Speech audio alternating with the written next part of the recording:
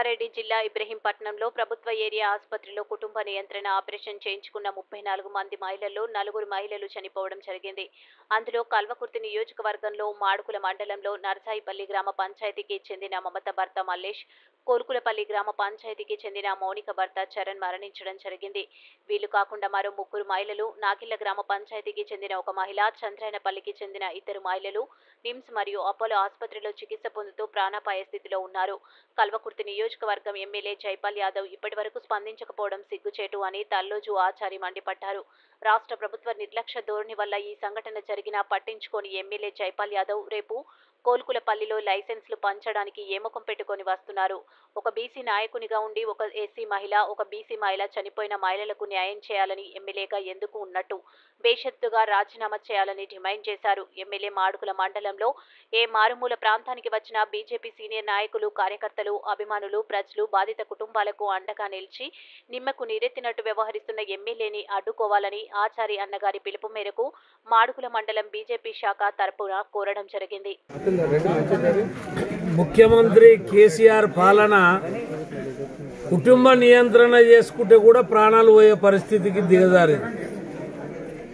కొన్ని యాభై ఏళ్ళ నుంచి కూడా స్వతంత్రం వచ్చిన తర్వాత చిన్న చిన్న ఆసుపత్రులలో కూడా కుటుంబ నియంత్రణ జరిగేది.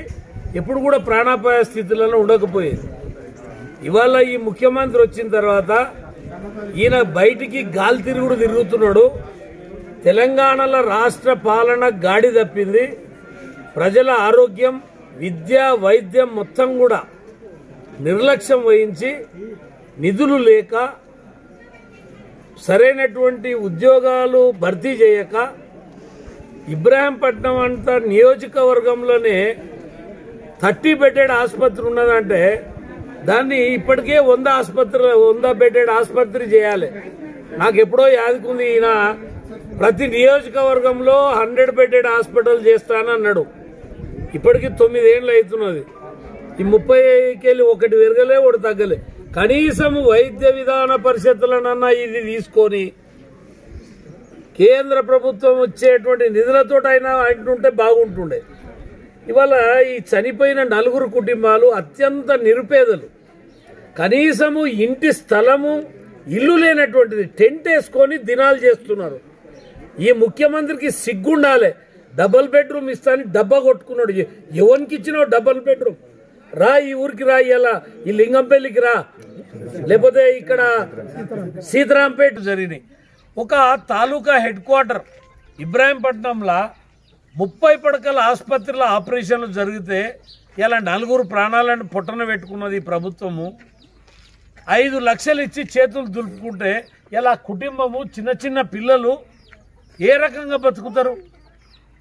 కాబట్టి ప్రభుత్వము ఇరవై ఐదు లక్షల రూపాయలు ఆ కుటుంబానికి ఇవ్వాలి ఆ కుటుంబంలో ఒకరికి ఉద్యోగం ఇవ్వాలి ఒకరికి పక్కా ఇల్లు. అది డబల్ బెడ్రూమ్ అని డబ్బా కొట్టుకుంటున్నాడు కదా కేసీఆర్. ఆ డబల్ బెడ్రూమ్ అయినా సరే వాళ్ళకి ఇవ్వాలి ఎందుకంటే ఈ ముఖ్యమంత్రి గాలి మోటార్లెక్కి మొత్తం రాష్ట్రాలు తిరిగి ఇక్కడ ప్రజల సంపదనని దోచుకొని ఈ డబ్బునంతా తీసుకుపోయి పంజాబ్లా బీహార్లా ఈయన ఈయన రాజకీయ ప్రాబల్యం కొరకు పంచుతున్నాడు. కానీ ఆయన పరిపాలనలో ఇక్కడ పిట్టల్లాకి ఎగిరిపోయినటువంటి నలుగురి ప్రాణాలకు ఐదు లక్షలు ఇచ్చి చేతులు దులుపుకొని అక్కడ పది పది లక్షలు ఇరవై లక్షలు ఇచ్చుకుంటా ఆయన విహారయాత్రలు చేస్తున్నాడు ముఖ్యమంత్రి. ముఖ్యంగా నేను ఈ కల్వకుర్తి నియోజకవర్గ ఎమ్మెల్యే శాసనసభ్యుడు జయపాల్ యాదవ్ గారు ఆయన ఎమ్మెల్యే ఉన్నాడు. రెండు గ్రామాలల్లో ఇద్దరు మహిళలు చనిపోయారు ఇవాళటి వరకు కూడా ఆ మహిళల గ్రామాలకు రాలే. హాస్పిటల్ కాడికి రాలే. హాస్పిటల్ కాడికి రాలే. ఐదు మంది ఇప్పుడు ఇంకా ప్రాణాపాయ స్థితులలో ఉన్నారు. ఈ పనికి వాళ్ళటువంటి చాతగానటువంటి దద్దమ్మ ఎమ్మెల్యేలు ఉంటేంది పోతేంది?